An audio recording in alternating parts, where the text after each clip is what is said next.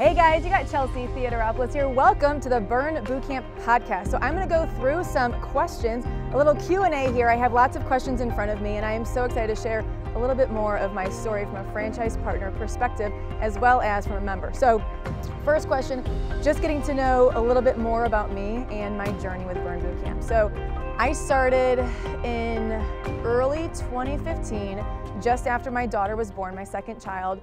And I remember just being so exhausted. She was not sleeping through the night at all. And I was in a really low point in my life, actually. My husband was at the peak of his entrepreneurial journey. Uh, it seemed like, in, in, a lot of ways, we were just waiting for his heart attack to happen. He was waking up with chest pains in the middle of the night. Uh, my brand new marriage felt like it was falling apart. I had these two little babies, and I had lost a big piece of myself. And it was it was a very lonely place to be. And so when I joined Burn Bootcamp, at this point, I just wanted to lose my baby weight. And so I came on a free Saturday. I had 10, 15 pounds to lose, maybe I forget this point. And I remember women just jumping all around me and I, they were, everybody was so kind and so gracious to me that there was really no space for judgment or resentment towards them. I could only be inspired. Uh, they kept high fiving me, they were cheering for me, celebrating me, and I couldn't do half of what they were doing. It was truly inspiring. And I, I wasn't, I didn't even know where my arms and legs were. My, my body awareness was off. Uh, I wasn't getting any sleep, and I, the inner athlete within me was was so buried deep inside of me that it really did take some time for her to come back out. And so when I started off as a member in early 2015, I felt a spark within me come alive. And for those 45 minutes, I really was able to be Chelsea and I wasn't mom and I wasn't wife and nobody was asking me to get them a cheese stick or make chicken nuggets or I didn't have to wipe anybody's, anybody's butt and like it was just it was therapeutic in a lot of ways to have this release within me to just be me and to work on myself. So when that happened, I started to really dive deep into my own transformation, and those physical goals that I had became so much more meaningful to me. Uh, I had tons and tons of focus meetings. I don't know how many, but it feels like a, probably a hundred.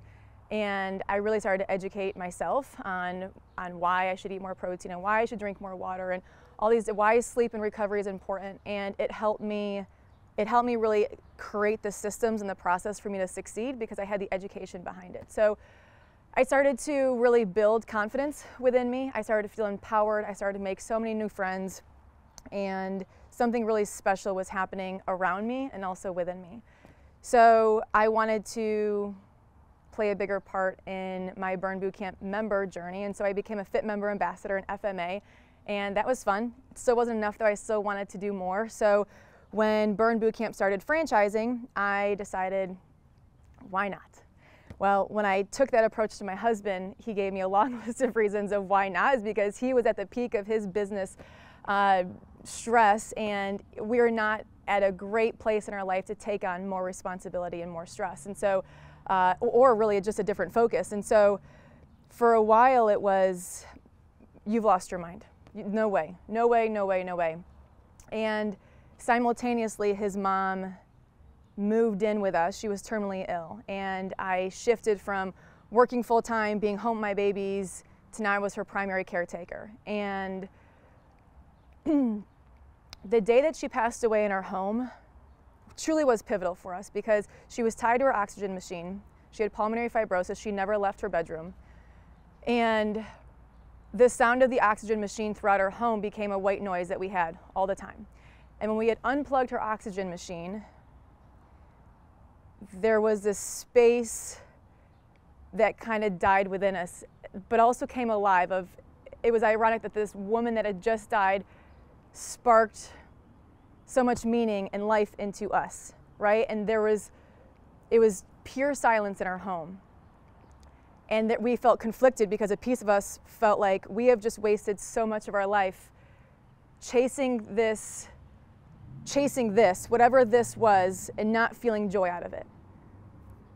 And life is so short and it's so fragile and she gave us that reminder. And so we literally got in the car we drove to disney we took our kids to disney the day for a day. It was not a great decision and uh, because it was so expensive not planned and all of that good stuff. But the point is, is she reminded us how fragile life is, and at that point, our mindset shifted in what it is we want to do with our life and the impact that we want to have on this world. So, my husband and I had revisited the idea, and at this point, Burn Boot Camp is wildly successful. And we bought into the franchise. We did a ton of research and we said, okay, a lot of sleepless nights. We had a hard time making the decision because it was such a huge change for us. We, we've been in the small business game and the small business world for a long time. My husband's been an entrepreneur for almost his entire life. He started his first collection agency when he was about 20 years old. And so I've, been, I've had the front row seat of seeing him grow his multiple businesses and then also my father as an entrepreneur. But being in the driver's seat was going to be a little bit different. And so I struggled with the decision because at first I had a moment of, I can't do that. I'm not qualified to do that. And then I kept reminding myself of the thoughts and the mindset of everything that I've, that people around me have been pouring into me of, well, why, why can't I? Yes, I can. I can do that. And so I started to shift my mindset and with support and help of other people, I started to remind myself that I can do this and I, I am capable of doing this. And so we bought into the Burn Bootcamp franchise and we moved to St. Louis. And so I think that's actually another question here is uh, what was it like? It was, it was, uh, it was a lot of things actually. It was scary. It was lonely at first. Um, and it was exhilarating. And so we did a lot of market research. We definitely did our due diligence. We landed in St. Louis very intentionally. And we didn't know a soul there. And it felt like the odds were stacked against us in that way, but I kept reminding myself that we're moving here very intentionally. This does make sense. I know what the vision looks like. I'm capable of doing this. I can execute. Let's go. And so when I first moved, I was planning on well, actually, I, I didn't actually move at first. My family was still living here in Charlotte, North Carolina, and that's, that's where I was living for 15 years or so.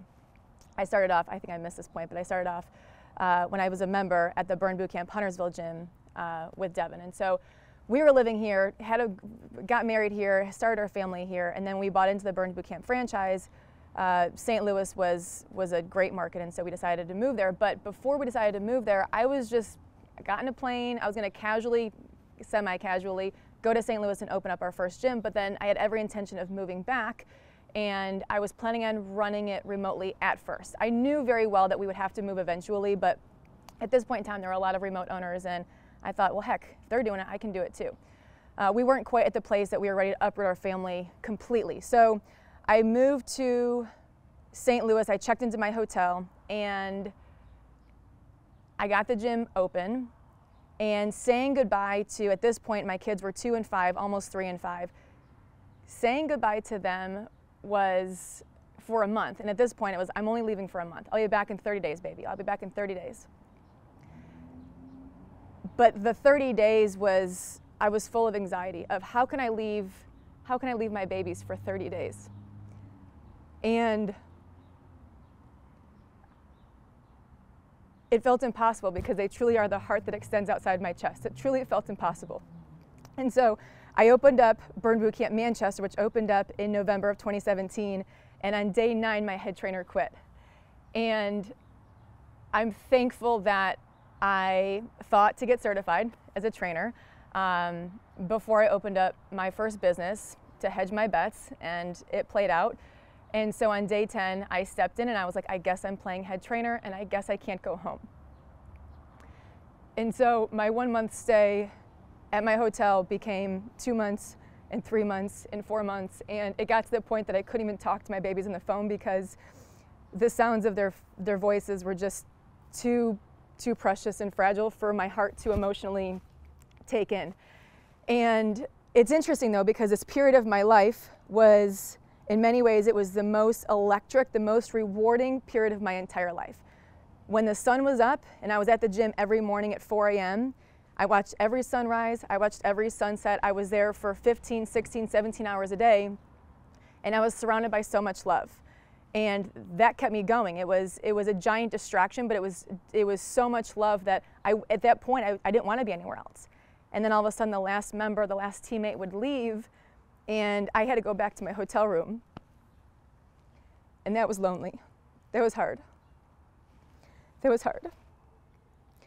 So, by the time we got to five months, I was desperate of feeling that way, of just the, the ups and downs emotionally. And I begged my husband, I was like, just sell the house, get rid of everything. I don't care. Just sell the house and move to St. Louis. You, you guys have to get here. We have to get underneath one roof. So we did, and they flew out. We looked at different houses, and it's interesting too. Like looking back in this period of my life, we looked at so many different houses, and I don't really have memories of that time. I think I just was so emotionally fragile and raw that I don't remember. I don't have a lot of vivid memories, but we bought a house and it coming all together just made it that much more meaningful and the community that i had built during that time that dedicated focus with my team with my members it was worth it and i tell my children that today of you know we reflect often back on that time of when mommy had to leave and it's like mommy had to leave because i was trying to help people trying to make an impact and mommy was pursuing her dream and we have to go through through things in life that are scary and they're hard. And if you know that you can do something, you can make a difference, you have to go anyways. And so I remind myself and them of that constantly to make that time well worth it. And it was. So that was quite an experience. And it's obvious that I haven't fully healed from that because I can tap into that part of my life. So um, the emotion is still very present, obviously, within me because it was, it was just, it was very light and then it was very dark simultaneously in the same day. So that was an interesting experience, but I wouldn't have changed it for the world. I learned so much about myself and uh, the members that I still have today. Uh, there's many members that I have from that season of my burn journey that are still with me today, and it's it's neat to reflect back on that period of my life with them. And uh, so I'm thankful. So I, I think you know if somebody is thinking about moving out of state, it is scary. And it's one of those things that you have to do a lot of soul searching of what do you want more? Do you want do you want to live where you're living more or do you want to make an impact more? And I don't think there's a right or wrong answer, but you know, for me living here in Charlotte, I, I loved it and I, I have lots and lots of friends here. I, I really did love it here. But my calling, my calling was stronger. And so for us it, it was the right decision and um, I would also say too that I was so ignorant about about St. I'd never been before. I didn't know anybody there, and so making that leap, not knowing if it was uh, the right decision, and now I realize in hindsight how ignorant I was and what a hidden gem. St. Louis is one of the greatest cities um, in this country. I truly believe that, and it's the people that make it that way. So it's been great. okay. Uh, what are some of the biggest challenges you face as a franchise owner, and how have you overcome them? So that was a challenge, what I just talked about. there was a little bit of a challenge. I would say uh, there's been a lot of challenges. I feel like every day is a challenge in a new way, but also very rewarding. Uh, leadership is lonely. Leadership is very lonely. Uh, and so, because of that, I have had to surround myself with other business owners um, to help me better as a person and to help me better as a leader, but also to to cope with different situations and to heal through different situations. And so that's helped me grow as a person uh, and also as a franchise partner. I would say it's also been a challenge where I had a dream of opening up Burn Boot Camp, and I loved, I loved training. I felt so much passion from training and being on the floor with members just gives me so much joy and so much life. But I also wanted to grow and I also wanted to scale and I wanted more than one location. And so finding that balance between being able to do truly what I love, being on the floor, but also scale and grow. How do I make these two things happen? And there, I, I struggled to do that. And so I had to give up something. And so I've had to remind myself often throughout the years of the, the importance of both the breadth and the depth of impact of me pulling away from training. And by doing that, even though I love it so much, it's given me the ability and the privilege to open up more gyms. And so now I have four open locations, um, all in St. Louis. I have Manchester, O'Fallon, South County, and Kirkwood, and I'm actively working on my fifth location in St. Charles. And if I held on so tight to training, I wouldn't have had the opportunity to open up those four other locations, and I wouldn't have been able to impact and help that many more people. And so for me, that's worth it, even though I do love to train, and I'm still very stubborn about my schedule. I still train a little bit, uh, and that's allowed me to have both. But I think that's been one of the biggest challenges that I've had is being in the gym all day, every day, and having to pull myself out and really go from acting as a trainer, but now I'm acting as a franchise partner. I have to act as a business owner, and I can't act as a business owner when I'm in the gym training all the time um, I really have to take a step back and, and see things at a, at a higher level so I can, I can help position us for, for more success. So that's been interesting. Um, I would say another challenge is building a really strong team. It's been one of the most rewarding things that I've done because my team is so, my team is just rock stars. They really, really are. My team is legit rock stars. And it's taken me a while to understand what does that look like? What is the culture that I'm trying to create? And what does that teammate look like so we can make the biggest impact possible? And when I can build a team around me who serves with purpose and they can connect with everybody and they truly do bleed blue, it, it allowed me to go open up more gyms. And so I had to. Uh, I had to step over my ego and say, you can't do everything. You have to be able to delegate. You have to build a team around you so you can make more impact. And for me, as a franchise partner, I went into this thinking I had to know how to do every single role and I had to do every single role really, really well. I had to be the gold standard for every role. And if you asked my team, is Chelsea the gold standard at every role, they would laugh because that is that is not the case. They do not let me work the burn ambassador desk. Uh, Child Watch, I think they'll let me in there, but uh, I I know what I'm good at and I know what I'm not good at, and um, I needed people that could do the job better than me, a lot better than me, and I truly believe that when I was able to swallow my own ego and pride and say I don't have to be the best at everything, and really I was just like spinning my wheels and there was a lot of mental energy and pressure I was putting on myself to to, to know how to do it all. And when I was able to let go of that and say, I'm actually not good at that at all. I'm really good at this, but I'm, I'm really, really bad at that. And so, how can I build people around me that have the skill set needed for us to succeed? And how can we go really far together as a result of that? So, that's taken time. That's taken a lot of time to build a really solid team, uh, especially when we've been growing so fast. I, we, we grew so fast that my needs were always changing, so that was hard to keep up with too is going from being when you're in growth mode, high growth mode, it's hard to pause and take that time to be proactive. So I spent a lot of the time just being in the weeds and reacting and feeling feeling like I was just trying to survive. Uh, and I, I would say that probably in the past year I've been able to find my groove, and I attribute that solely to my team that have allowed me the space to find my groove, really tap into what I'm good at. So we all have our areas that that we excel in. So that's, that's been a fun challenge. I would say building a team has been a really fun challenge. Um, okay, next question. How did becoming a mom impact your fitness journey? Ah. so this one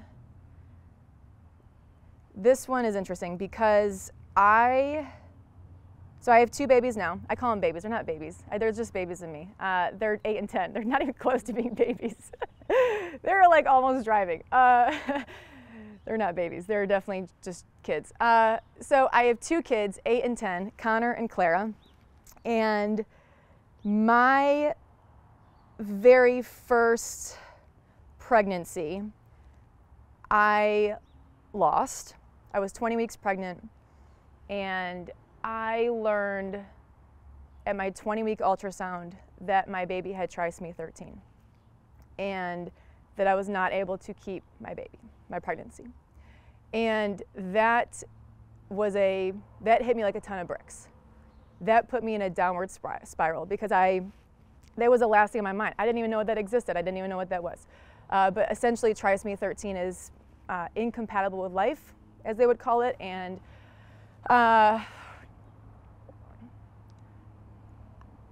I it, it felt it felt unfair in so many ways. Of I'm I'm healthy, I'm young. Why is this happening to me? And I, for a minute, I wanted to hang on to that victim mentality of this shouldn't be happening to me, and I doubled, I, that, that felt very toxic in my head. So I had to like reject that notion and I just had to double down on love and yearning for motherhood in the healthiest way that I knew how. And so I mention that because going through that experience put me in a significant downward spiral of depression. And I was in a very dark place, feeling very alone.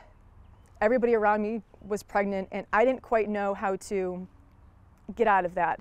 I didn't know how to feel joy again. And I had convinced myself, I told myself, if I could just have a healthy child, I'll be happy. And I put all of my eggs in my happy bucket in as far as having a healthy child. And if I could just have a healthy child, I'll be happy. And so I was blessed with that, uh, two of them. And when I had when I had both of my children, who are incredible, incredible gifts, I felt this emptiness within me still. And then I felt really guilty. That really, that really messed with me because then I, I still felt this sense of, I still felt this void within me of, I had prayed so hard and here you got what you wanted and you're still, you're, there's still a piece of you that doesn't feel right. And I had to overcome that of why, I had to do a lot of soul searching of why do I still feel this emptiness? I needed a sense of accomplishment. I needed a sense of identity. I needed a purpose.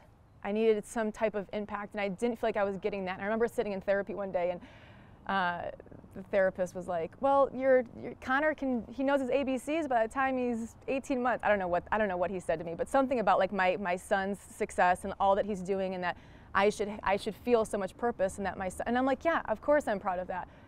But it's not mine. It's not mine to. I, I need. I need purpose. And it shifted to when I had children, that, that really messed with my mind. Uh, I felt guilty for wanting more. I felt guilty for thinking about opening up Burn Boot Camp, and then that was actually very short lived. I was able to like put that in a box and throw it away because I kept reminding myself of like, no, it's okay. I can actually do both. And, and I was able to shift my mindset of by me chasing my dreams and pursuing this passion that I have, I'm teaching my children how to always keep their sense of identity and to never, never give that up and to always be authentic to who they are, regardless of what society is telling you of, of this is what a good mother means and all of that. And so I had to let go of what I thought it meant to be a good mother. And I'm like, you know what? I'm going to do the very best that I can. And uh, I am going to show my daughter what it means because I hope that my daughter, when she is my age and she has her own children, if she does, that she doesn't lose a piece of herself and that she doesn't feel so conflicted to be only mom and have that be her only identity or be only wife. That I want her to be able to be all the things if it brings her joy. And so uh, we talk about that often a lot. And I also want, from my son's perspective, from a male's perspective, I want him to see the strength and the power of another female and of a woman. And I want him to support his wife someday to chase her dreams and to always keep her identity. So that's, that's pretty, uh, that's pretty, we talk about that a lot in our home. And when, when mommy has to uh, go to work for a long day or I have to do a work trip or whatever it is, I tell them always that, you know, mommy's, mommy's happy. Mommy's really, really happy and I'm chasing my, my passion and I'm making an impact and I'm, I'm helping people. And so